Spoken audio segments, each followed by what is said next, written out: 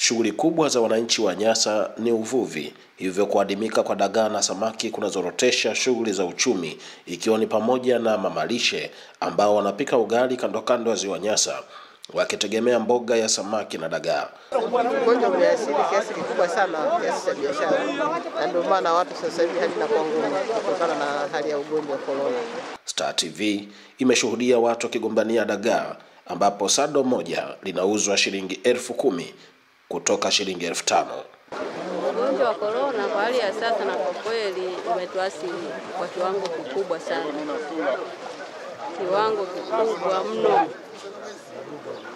kutokana na hiyo homa ya korona.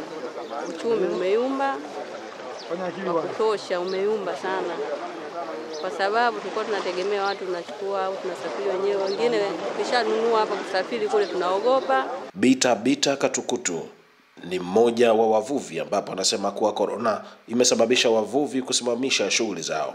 Kwa kweli ugonjwa na uvuvi ndio, kwa sababu watu wanakuwa waoga kila wanapoenda kuvua, wanakuwa na mioyo juu juu, kusema labda pengine ndio hivyo, Mungu pengine huko ninakoenda kuvua, pengine nikaja nikakutana na ligonjwa hilo, sijui ni maana nini. Kwa hiyo wagonjwa nani, wavuvi mpaka saa hizi walipo hapa wana mioyo miwili, kwa hiyo wanakuwa kiuoga. Akizungumza na baadhi ya wananchi, naibu waziri wa viwanda na biashara ambaye ni mbunge wa Nyasa amewatoa hofu wananchi waendelee na shughuli zao za uzalishaji kama ilivyoagizwa na Rais Dr. John Pombe Joseph Magufuli. hapa kazi tu. Ndio maana hata kama kuna korona, kazi lazima iendelee. Hayo ndio maneno ya Mheshimiwa Rais wetu. Ndio maana mnakuta hata sisi tukiwa huko tunafuatilia, barakoa zinatengenezwa, vitakasa mikono vinatengenezwa, madawa kwenye viwanda vyetu vinaendelea kutengenezwa, kwa sababu mwisho wa yote rais anataka tuendelee kufanya kazi.